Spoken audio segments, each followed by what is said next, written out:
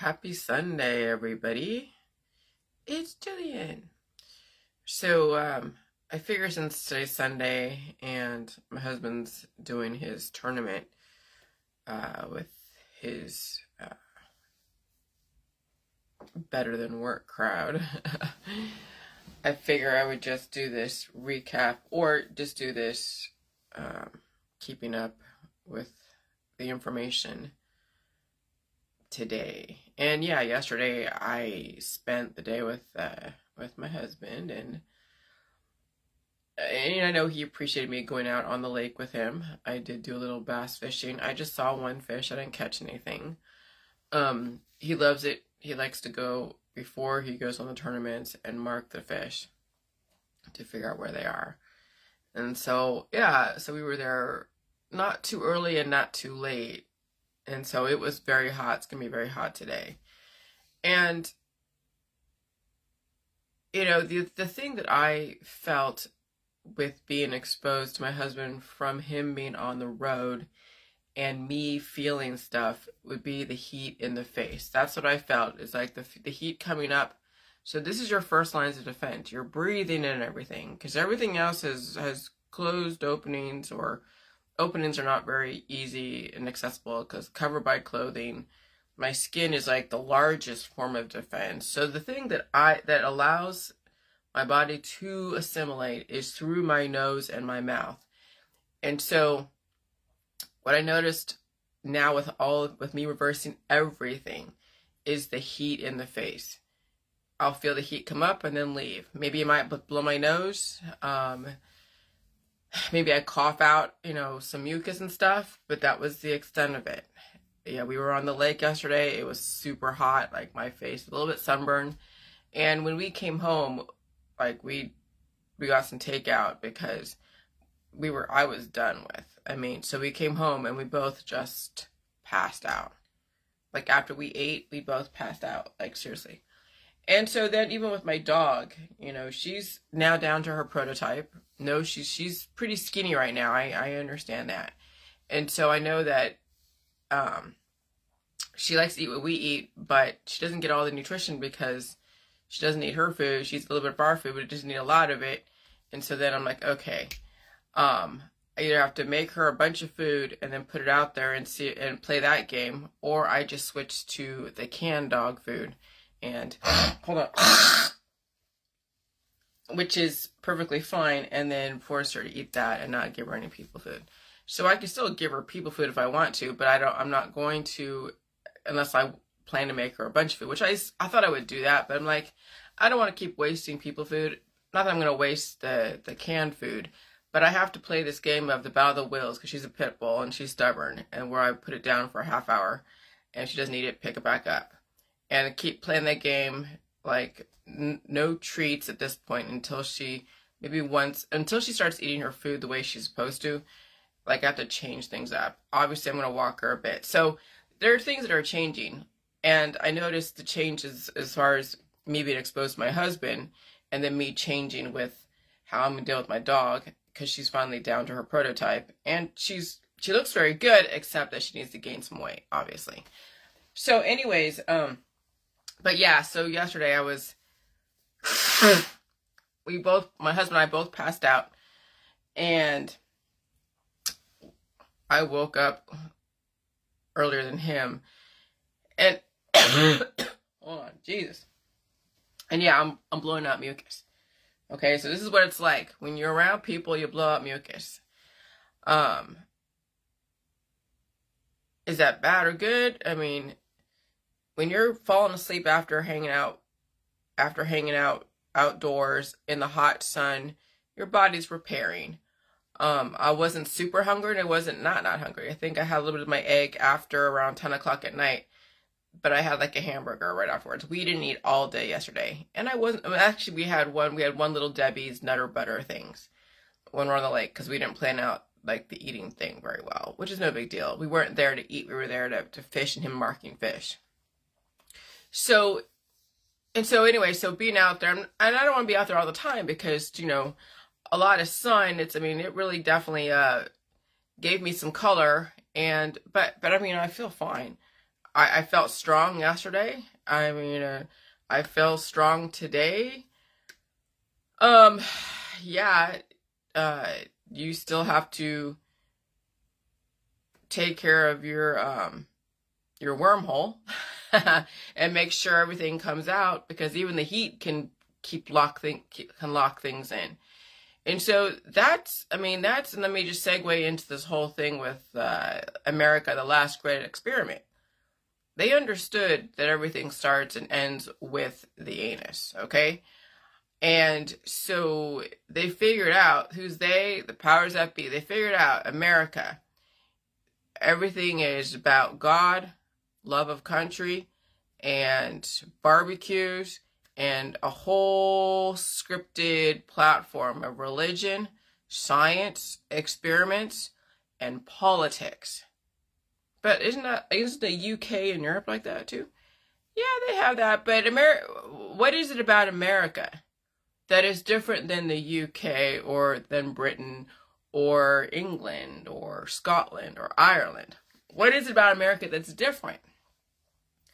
I mean, because England, there's a lot of innovation. They have Cambridge, well, they have Oxford, they have all these universities and stuff that, that the Prince and the Princess of Wales and the Queen and King of England and they all go to and all the upper echelon. So what is it about America? I, I don't America was the land of, of the free, home of the brave. What is it about America that sets apart from England? Not much different. When you think about it, not much different we have the tech industry. Yeah, we have biotech, but so does England, so does India, so all these different countries. We have a heavy ev- evangelical presence here. Yeah, we have a lot of Judaism. We don't have a lot of Muslims. If we do, they don't say too much because of all the history that's been going on. But a huge Christian population, like huge. I mean, that's what first started America was the was the colonists, you know, the, the Puritans they they wanted the religious freedom okay? That's the story that was told. Was it really actually what so? Hell we don't know.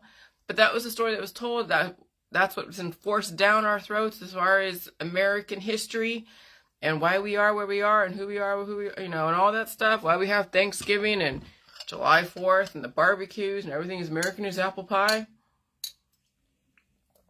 And then god love and country and the word God is on every single dollar that we pass through.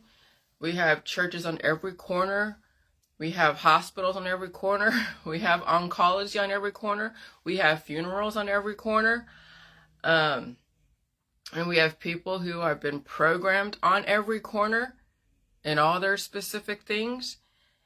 And then you, and then when you, and I'm listening to the documentary about you know American and the evangelicals. I'm like, and you hear it, you know the militia, all the different militias that are out there trying to fight for their for for their country, their patriotism.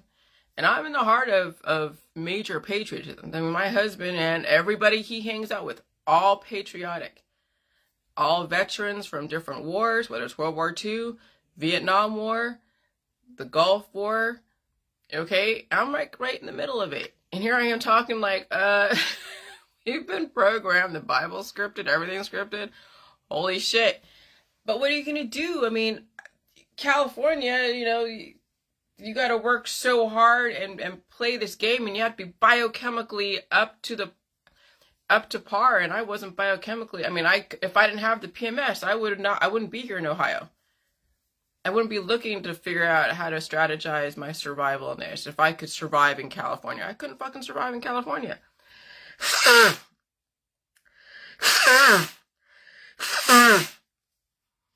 and so then you realize everything is scripted and now you're seeing the walls coming down. And so what built up America and built up the world was all the all the innovation, the viruses, which is all the different um, defense systems and the programming.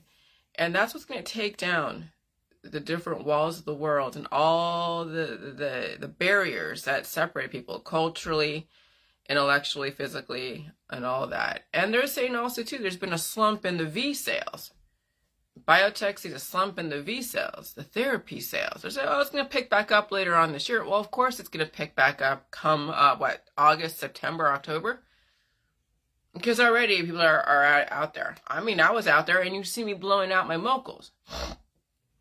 I don't have any headache, but I can feel that there that, that, that my but my defense system up here is defending the rest of my body. So the only thing I have to do is feel the heat. That heat is bringing up all the mucus to come up here to protect. This is my line of defense right here. That's what that's what's pretty awesome is that eventually eventually your lines of defenses, especially your first lines of defense, will be so on target that you'll even feel it coming just you'll even feel it developing. That's the heat. That's when people feel like infection or they feel fevers. Infection is the massive amount of defenses developing because of a massive amount of, of, of exposure that the body wasn't prepared for. And this is why people die is because they don't have a, a good release for a release presence. They can't release the stuff. Release police. Hmm, that sounds the same. Okay, so they're not releasing at the at the level that they are producing. And so people drown in their mucus. They they have they, they get sepsis. They have their own T cells and B cells cannibalize them, or they're starving themselves, not trying to feed the the infection or whatever, and so it calms down. It's it's like, but then it's eating the person out from the inside. Okay, so it's it's pretty crazy. So so you can eventually go out there and you won't pay for it so hard that you're going to be like, what the hell? Why would I go out there? I mean, you will for a while because, again, many people are have many predispositions. Like everything is relative. You know, when when Stephen Hawking is saying that everything comes from nothing, nothing comes from nothing because there's there's no thing. So you can't build something from nothing when there's nothing. It's nothing. So everything is something. So Stephen Hawking is a shill. And then so the whole black hole bullshit I'm not even going to listen to. Albert Einstein really made made a point. Everything is relative. And that the word God or even believing in God, though they said he wasn't, you know, he was an atheist. I don't know what the heck that means. If you're not atheist and you're not believing in God, then what are you? I don't even know. An atheist an atheist can even be a science person, okay? So I don't even know what that means. But everything is relative. Everything's relative to your perspective. Like again, when you're red shifting, blue shift is red is relative to your perspective. Just because something is red shifting or blue shifting, red shifting towards you, blue shifting away from you, or vice versa, doesn't mean that's the same for everybody else. It just means that it just depends on your perspective. And why is it on your perspective? Because you have predispositions. You have a reality that you're living with. You have B cells and T cells and things have been programmed. Whether it's love, God, of country, and American is apple pie, you've been programmed with that for years. Shoved down your throat. God, shoved down your throat. Religion, shoved down your throat. Politics, shoved down your throat. All the science shoved down your throat to where you it's programmed your B cells and T cells. And then you have all these other different cultures and belief systems and and whatever shoved down people's throat, developing, creating people's realities. And so there's no way even I could reach those that have been so heavily programmed with religion, with scripture shoved down their throats ever since day one. And then me talking about the whole Anu Sky, KY, everything starts and ends with the anus. You're like, what? Hell, Jillian? Well, it's true. And so when you think about simulations, everything is, is developed by words. You change the words, you change the simulation. And then when you change the simulations, because you're actively putting together chemistry and objects and setting your life up around your simulation. You're finding the science and the physics and the chemistry to back up your words because those words were developed for a reason because there's chemistry and science and physics that support those words, or those words wouldn't exist. And sometimes words are, are contradictions like nothing. You cannot create something from nothing. That was something that one of the one of the courses that I took that's in San Francisco. That was one of the mis the biggest misleading taglines that I didn't realize was misleading. I'm not gonna I'm not gonna slander the course or say anything about. It. I mean, the course is great. You see what I wrote on my on my biography, but that was one of the biggest smoke and mirrors I didn't realize was a smoke and mirror until somebody pointed out in my simulation group, the simulation theory. They're like, you know, is, is what is up with this science majors that Stephen Hawking is something, you know, you can create nothing from something, and no, you can't. And then Maui Reeves, he's in my group and on my Facebook page. He's like saying, well, if the first off thermodynamics says nothing can, or uh, what is it, energy cannot be created or destroyed, then how the hell do you get nothing from something? No shit. Fucking good point, Maui. You are really paying attention. Sometimes you guys shock the hell out of me like you are paying attention. And you prove it by like even telling me something that I did I didn't I mean I knew it but I didn't point it out and put those two together. But absolutely right, Maui Reeves. Stephen Hawking was incorrect. And then I hear that he was a shill for the industry. So even the scientists that are put before you to worship are no different than the icons that they tell you to go and worship in religion. Satan or Jesus or Yahweh or or Jehovah or this how do you, you why worship anyone? Isn't that's why it's so difficult for people who are who are bilingual or who are, or who are ESL. They have very difficult to learn the nuances of the English language because it's so deceptive. It could add something and take away in like one word or in one term. And you're like, what the hell? Because, you know, because because a word can can be like again, it can be a noun, it could be an adverb, and it could be a verb, and it can be an, an adjective. And so when you can convert a word that used to be just a noun, like, oh yeah, it used to be Donald Trump, just Trump. Now it seems like, oh, that was so Trump. I have a Trump card. There's Donald Trump. Now you turn that word that used to be a noun that was just describing a person, turn it into a pop culture, into an adjective, turn it into a verb.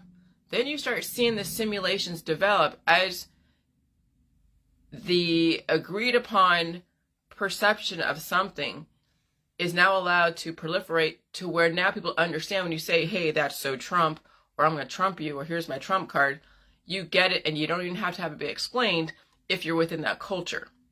And that's how simulations get developed is through words and the development of words. You take in the taking like etymology, taking one letter that means something, you add on a couple letters, and then a couple letters, now you add on another word on top of that.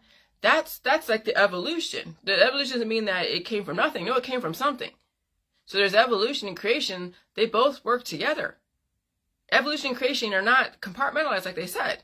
And so this is Sunday, and now you're gonna learn about that evolution and creation are actually two word two sides of the same coin, two words that actually need to be conjoined together and nothing can come uh, something can never come from nothing. There's always something there. So you're gonna want to go the dark matter the static the steady state theory this and that trying to figure out how how does the plus and minus they've always been there. Does it matter where it comes from? No. Because you can rack your brain and figure out all the, the scenarios and find every single you know storyline that you could think of to justify whether or not life came from over here over there or and that's the wars of humanity is they have to know the beginning. And maybe there is no beginning. There is always energy conversion. And so I could see why Einstein gave up Judaism because it's so linear, linear. And then you realize that, okay, well, energy can't be created or stored, only converted. So then what, what's this whole point of the whole Genesis, then Exodus, and then all the five books of Moses that's so linear? And so then I'm like, wait, that's why I never really thought of anything about Judaism for me myself because I didn't like how things were portrayed, how things were done. There's a lot of inconsistencies, a lot of conflict, even with that religion, even with my family. That my family was not a representation of what I thought a religion, what I thought religion was supposed to be peaceful and and helping people and. Uh, and what what does that mean? I don't know. What is helping people? What is what is peaceful? There, it's all relative to and and and so I never really took on any religion because even Christianity was aggressive. And then you hear people calling people Satan, calling people this, calling people that, or they're saying, "Oh, you're not as good as me," and you know, I'm just like, "What's this?" Just no. And then and then science is where you get the peace, but science can also be used as a religion because you saw how they used Stephen Hawking. violating the laws of their of of, of thermodynamics. But then, like, can laws change? Well, here's the thing: the laws of thermodynamics, as far as energy cannot be created or destroyed, there's some very foundational basics because you can't destroy energy because it's always going to convert. It's not going to disappear. When people die, they, I mean, their body disperses and their and their conscience and all their energy does disperse. It's not going to be in a coagulated, organized form that is in this specific like form in in in in the in your specific simulation. And so when you die, yeah, you're you're you're you're decomposing all of your microbes and everything else is scattering into the wind and other entities are going to eat you out from the inside until there's nothing left and then the energy the, the the the conscience whatever is then released out there and then who knows how far you're going to be scattered into the wind. Hey sugar. Okay? And so then so then I can understand why then science without worshiping these crazy people, I don't say they're crazy. Because I mean, when you look at between Einstein and Hawking, Einstein, yeah, he's type A, type B, per, uh, blood type. And come from a background, he did the whole E equals MC squared, theory of relativity, all that stuff. Great quotes probably yeah the the genius of our time. Hawking, I could see why they wanted to promote him as one as such because he had he was so atrophied everywhere else, and all they did was kinetically, you know, did stuff to his brain. His his disability is what gave him a lot of prominence, and then of course what his brain was saying about the black holes and the Big Bang and all that stuff. But it, it was very short sighted and very compartmentalized because you can have a million different Big Bangs. Chemical reactions happen all the time Death and rebirth happen all the time. There wasn't just one single one that happened and created all of this because where did those things come from? And even then, does it even matter? And so then if it doesn't even matter where those things came from, then it's not about one big bang, one singular big bang. It was just a, a bunch of them and where they all originate from, it doesn't even matter. It just is. Just like your computer is just is. It needs to be maintained. Parts and things and stuff need to be upgraded. And is the computer going to wonder where everything comes from? Is it going to go and find out, well, am I from China or am I from India or am I from America? You know, when, when we have all the different factories in different places because of stuff. And, you know, this doesn't even, does it even matter? It just is. Something is maintaining the order of your computer and everything that goes on with it. And then you just keep performing. But not performing so hard where you, you burn yourself out and not underperforming where you're atrophied and you're not having any kind of life come from you or any kind of productivity. And so and so that's the thing, you know, with humans is can they accept that they don't have to know where they come from? Can they accept that there's a 50 zillion storylines out there that all are tied to cap, all are tied to money and tied to wars and tied to discrimination and tied to so much stuff. And then what happened, you know, way back in antiquity, if we're going to play the timeline game? of why they decided to diverge from from you know people minding their own business in the bedroom to then be like okay it's us against them you know the lgbt versus the the binary the binary versus non-binary. Well that's another divide and conquer. That was part of america's great experiment. Okay and it, it bled out all over the place i mean you have a lot of discrimination in other countries when it comes to to those that are non-binary or same sex or this or whatever even I came from like kind of like, well, you're, you can you can only make a person from this and this.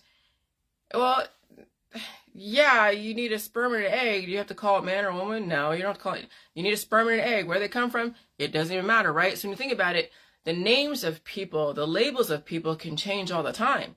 The reason why we have the labels of man and woman and and boy and child and girl is to differentiate the societal constructs of their place in this world and then all the different you know duties and lifestyles and things that they must undergo. So when you a man versus a boy a man is mature a boy is immature. He's not 18 so you call him a boy until he's 18 and then he's a man even though he may not act like a man he is now legally a man Okay, but anything below 18, you're still a boy. And so people have the organized sense of understanding, be the differentiate between, you know, what is appropriate to do with a human relative to the to the age. Now, people are not obviously mature enough all the time to make those kind of decisions on them on, for themselves. But legally, you are supposed to be an adult at this age. So that's why we have all these different labels: man, woman, boy, girl, because it's the order of our society. It's the laws that are applied to everyone's specific label. And when the simulation changes, the labels changes. They drop off. Expectations of certain things changes. There'll be things out there that are gonna, gonna they're gonna instigate the acceleration of people's expectations. And so then the, where the whole jilly juice comes in is that we're not expecting to pass away. And so then we're not going to be adopting certain labels and belief systems and certain scientific, political, or religious dogmas. Because if you're going to say, okay, I believe in an indefinite life and I want to follow that and feel the pain and understand my first lines of defense, blowing my nose, not taking part in the antibiotics or all the therapies that are out there, then you almost have to, you really do have to give up the politics, your religion, and your scientific dogmas because they all feed into the old simulation of you pass away someday, you take your antibiotics, you demonize a person, place, or thing, and you stay stuck in a very, very limited existence and reality that that is changing and that you're not changing with it and you will die with it. And that's why you've seen me get kind of, well, you saw me drop people around me or confront them or say, hey, you know, maybe at some point reconsider your religion, your culture, your horoscopes. Give my information to your family and friends. See what see what they think. Be be some kind of pioneer in your world, not just a follower, but a pioneer. People can't do that. They can't be pioneers. They have to be a follower. When you're a pioneer, you are up against people telling you even even when you're up against the mainstream and you're playing this whole anti-V, pro-V shit, well, that's also an argument the mainstream has given you because you don't understand the science behind why it is you do or don't do something. And then you have to feel pain. You have to feel the mucus. You have to get it out. You have to do the salt and the water occasionally. And usually stay home more than not when you're going through that, uh, that morphine stage where you're now releasing all those demons. People don't people even in the in the in the alternative mainstream who are in those activist groups can't even go against their own activist friends. They can't even say anything. Like right now, they're, they're, they're saying now in Ohio it's okay to use the ivermectin and the hydroxychloroquine. You know that's an antibiotic that will cause so many T cells and B cells in people who are already at a at a major maximum of T cells and B cells, and they're allowing it, but they but they were against it. Dr. Fauci and all the people were against it, right? All the doctors, And so everybody thought in the in, in, in the in the anti-V world that oh, if, if Dr. Fauci and all the FDA was against them using it for, for, for COVID, and now they're allowing it, you know, people are going to now take it because at first it was like, oh, it wasn't allowed because they thought if, if the government says no, it's not good, then it must be good. And that's a very superficial argument that is a smoke and mirrors type of, of, of psychological operations on people who don't understand the science behind why they do what they do. And so that's part of the psychological operations of politics, religion, science. That's part of not only the Britain and UK psychological operations of Tavistock, but it's also part of the CIA, part of all of, of the think tanks in America messing with people who are in the politics, religion, and science world, who are worshiping some pundit in the anti-V world, worshiping some some rogue doctor that said, "Oh, not giving up their license, but they're playing the anti this game, anti that game, but they're more than willing to sell you a supplement, an MLM or a detox or an antibiotic whenever you finally, you know, follow their lead. And you know how much money these people are making off of your ignorance because you're so willing to follow some prophet?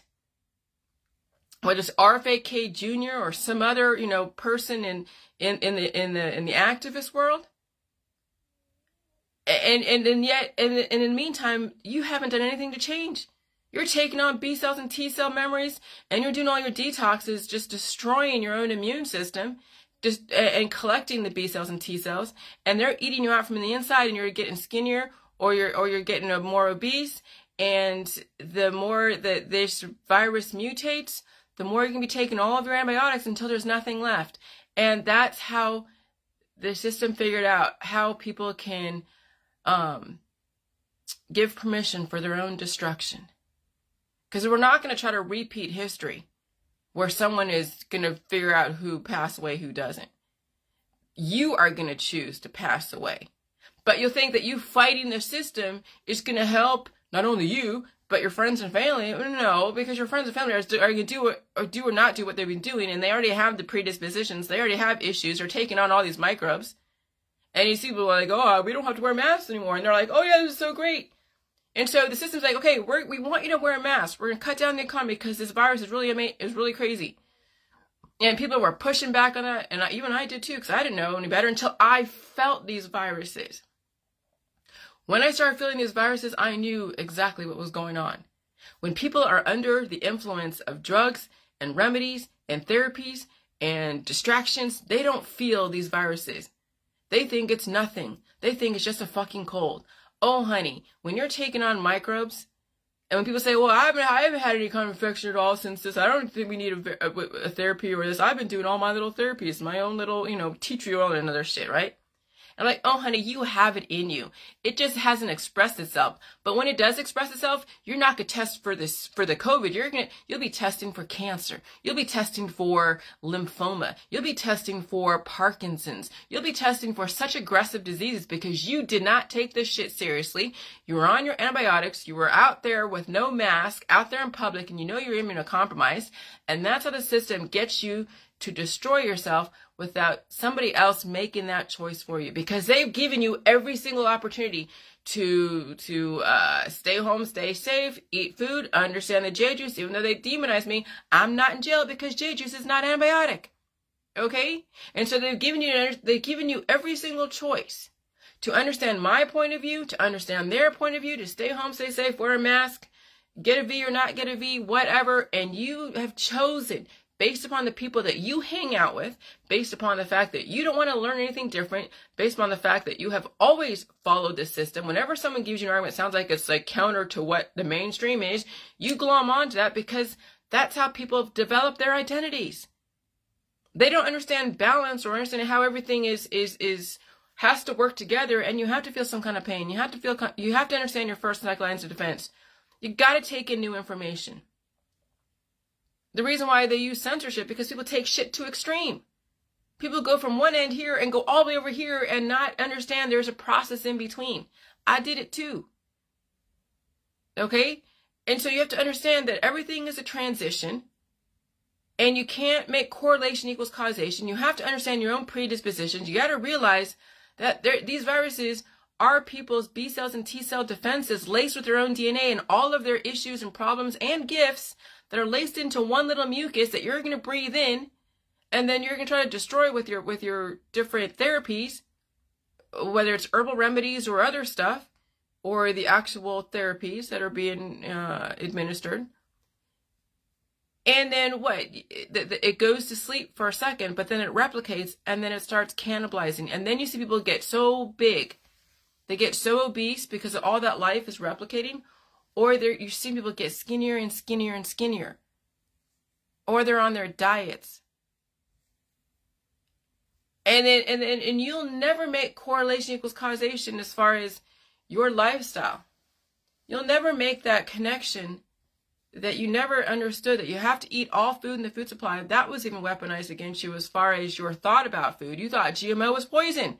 You were too busy worrying about the water supply that had fluoride in it. I did too. It, it I finally have been brushing my teeth with toothpaste. But for the longest time, I thought the toothpaste was poison. For the longest time, I thought the water was poison. For the longest time, I thought certain foods were poison. It's all psychological, and there are campaigns that get people to think that genetically modified is poison, to get people to think that, that toothpaste is poison, that get people to think that everything is poison when they hold the predisposition inside. And so, yeah, they might feel something from certain things because they hold predispositions and allergies. Doesn't mean that it's poison, but that's what's going on is people are projecting their own weaknesses and their own hell onto everybody else and then starting campaigns. And then somebody figures out, oh, with all of these different antibiotics and things that are being, that are circulating and the, the bodies are under attack, developing a resistance against wheat germ, a resistance against tomatoes and eggs and milk and meat and cheese and nightshades and fish. Then people are stuck with food allergies. They don't have a diverse food supply. They're starving. And then they're undergoing more therapies to deal with that, that is then being blown out into the atmosphere for other people to take on another allergy that's going to commandeer their own immune system and weaponize their body against the food supply so they can't even take in the nutrition because the body has so many defenses against the nutrition because it's being used in all the therapies. And so then when you think about Earth Day is nothing more than just a campaign. Hey, clean up garbage. Okay, great. But what about people's immune system is full of fucking garbage?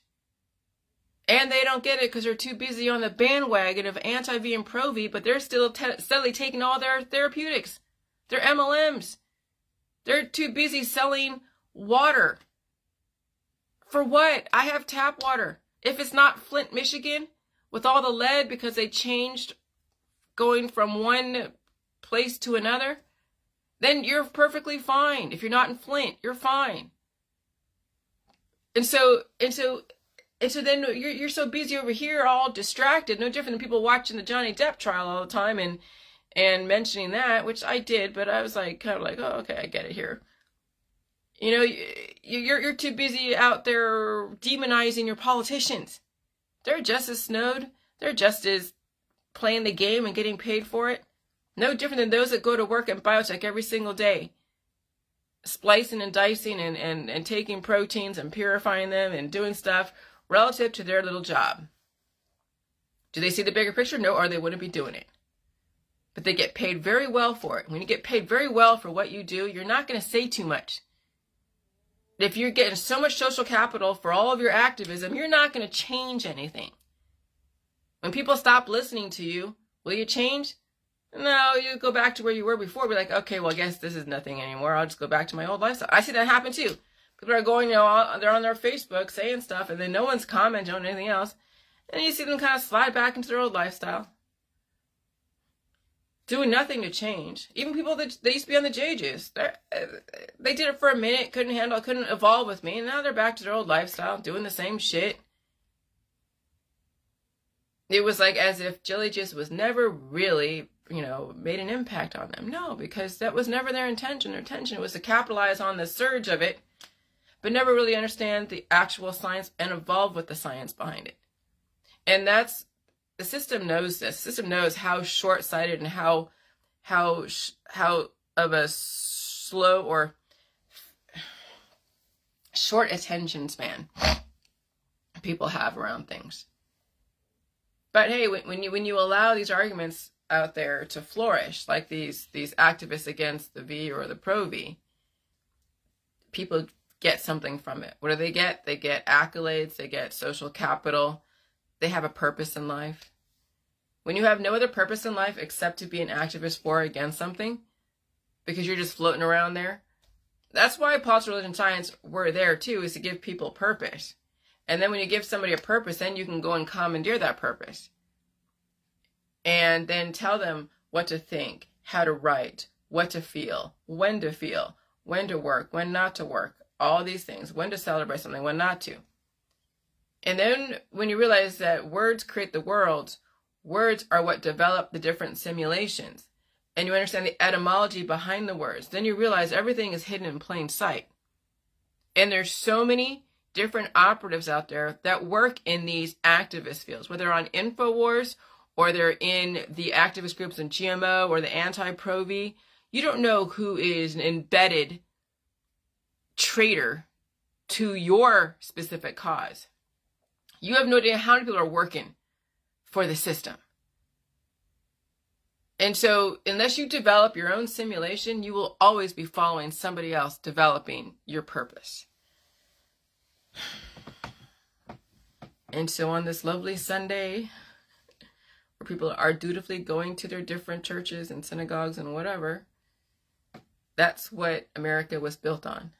That's that's the the politics, religion, and science. That's the dogmas. That's the stuff on the on the on the dollar bills. In God we trust. You know why I was on that bill? Because that's reinforcement. That is programming. That's reinforcing the programming. And when you have your presidents going to the Catholic churches or the Church of England or the Church of this, Church of that, just reinforces it.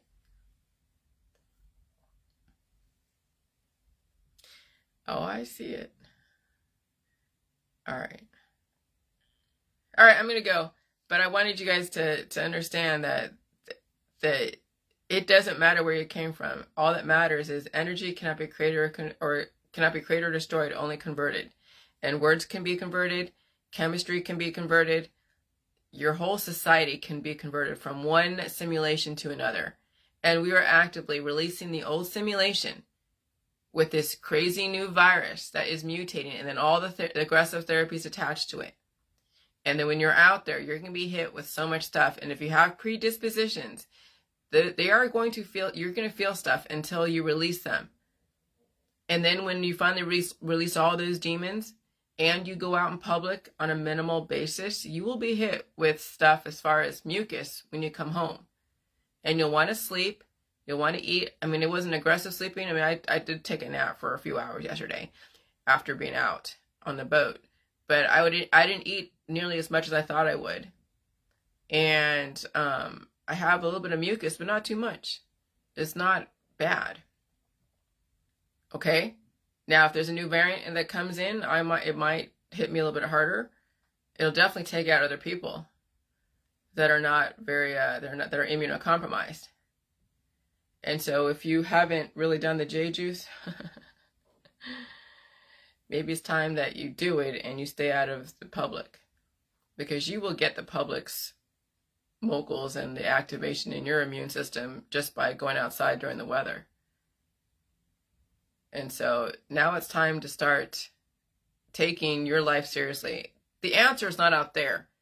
The answer is not demonizing a person, place, or thing the answer is within you and releasing your own demons and realizing how much of a psychological operation simulation you're in and you don't need to take part in it.